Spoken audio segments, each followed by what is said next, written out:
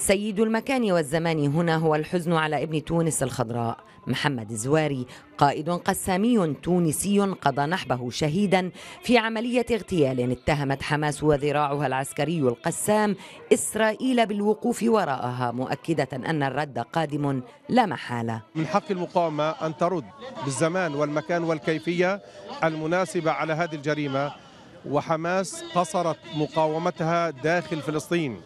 ولكن إذا حاول الاحتلال أن يجر الصراع وأن يوسع الصراع إلى ساحات خارجية فإنه سيجر وبالا عليه.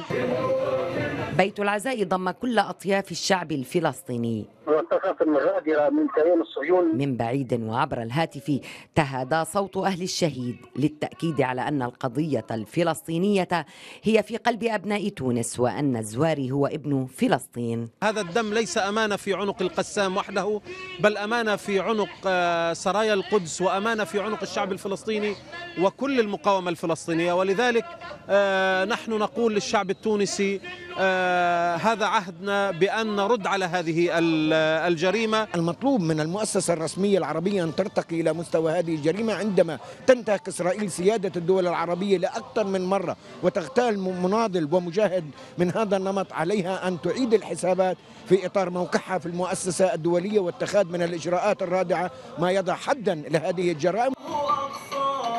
التونسي محمد الزواري مهندس طيار التحق في صفوف القسام قبل عشرة أعوام وكان ضمن من أشرفوا على مشروع طائرات أبابيل القسامية. تهديد ووعيد القسام واضح وضوح الشمس فدماء ابنها التونسي لن تذهب سدى طال الزمان أم قصر.